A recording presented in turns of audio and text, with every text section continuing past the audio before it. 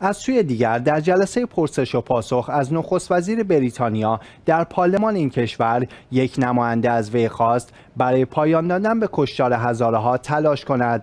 آنتونی برون نماینده پارلمان بریتانیا روز چهارشنبه در جلسه پرسش و پاسخ با نخست وزیر گفت که امروز بیرون ساختمان پارلمان بریتانیا هزاره ها از سراسر بریتانیا گرد همایی کردند و خواهان حمایت بین برای توقف کشتار هزاره ها در افغانستان شدند.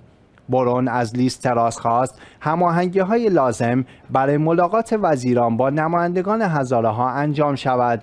در همین حال برون با خلیج زرگر عضو شورای هزاره بریتانیای کبیر نیز دیدار داشته است. لیستراس نخست وزیر بریتانیا در پاسخ به اظهارات این عضو پارلمان بریتانیا گفت آنچه در افغانستان روی می‌دهد عمیقا نگران کننده است.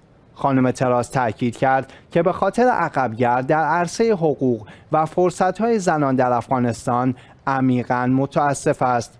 وی افزود یکی دیگر از کارهایی که ما انجام دادیم این است که اطمینان یابیم که بودجه کمک به زنان و دختران احیا شود.